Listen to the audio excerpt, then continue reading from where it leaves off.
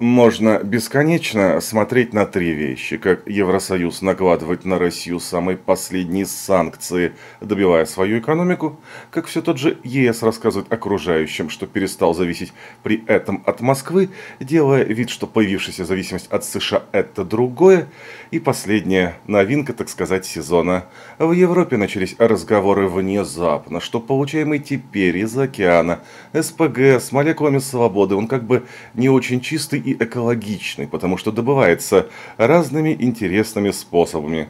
Согласитесь, это прекрасно, ведь об этом все столько времени толдычили, но кому какая разница была, ведь демократия тогда находилась в опасности.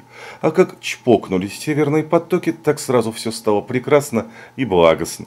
Причем никто уже настолько ничего не скрывает, что прямо радость берет за товарищей. Ибо вот на днях заместитель госсекретаря США Виктория Нолан заявила, что Вашингтон удовлетворен концом концов трубопроводов «Северный поток», снабжавших Европу российским газом. Цитируем, «Я полагаю, вся администрация вполне удовлетворена тем, что «Северный поток» превратился в груду металла на дне морском», сказала дипломат. Как говорится, не чокаясь. А еще из веселого, мы же говорим, за этим можно наблюдать бесконечно.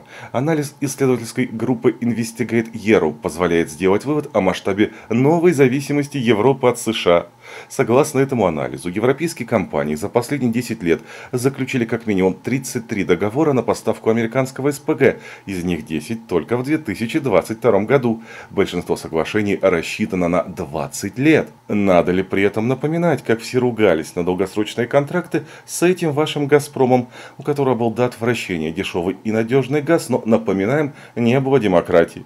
Впрочем, еще больше ужасных подробностей, как обычно, через пару секунд. Друзья, скоро уже год, как мы работаем для вас без полноценной монетизации, ведь она отключена для России. Поэтому ваша помощь крайне важна, и даже 50 рублей, когда вас много, позволяют нам, напомним, каждый день радовать вас новостями.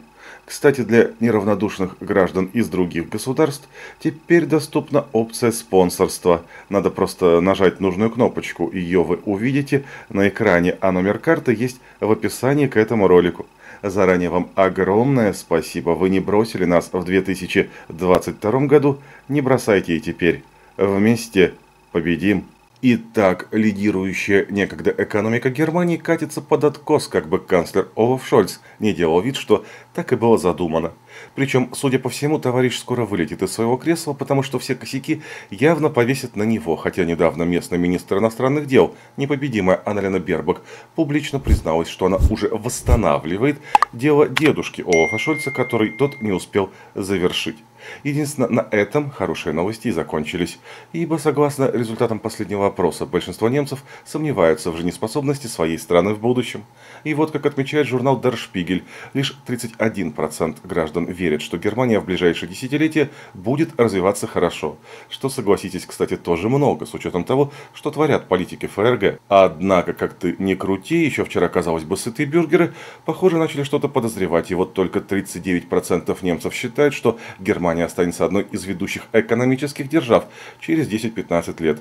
Для сравнения, 5 лет назад этот показатель составлял 59%. Впрочем, согласитесь, у товарищей еще впереди много открытий, причем они даже пока не подозревают, насколько много. И это точно не конец истории.